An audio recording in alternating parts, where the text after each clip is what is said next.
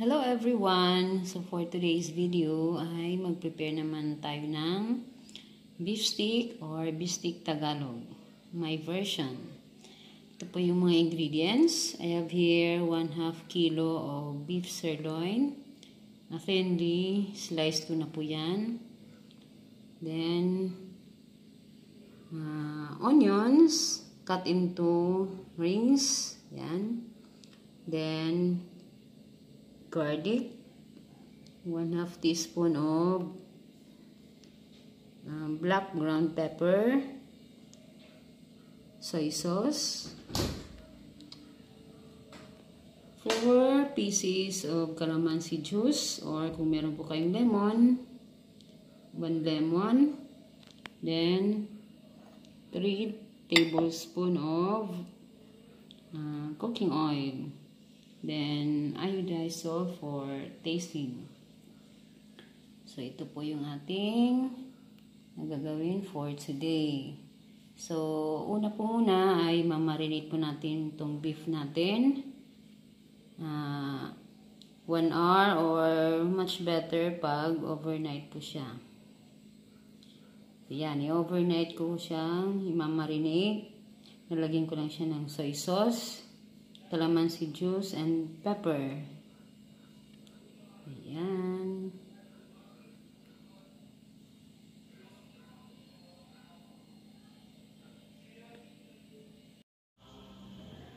Ayan, start na po tayo magluto ng ating beef steak Tagalog. Ayan, iniwalay ko na yung beef sa marinated na sauce. So, ipapan-fry po natin tong beef.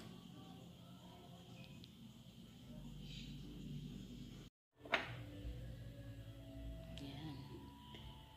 Pan-fry po muna natin yung ating onion.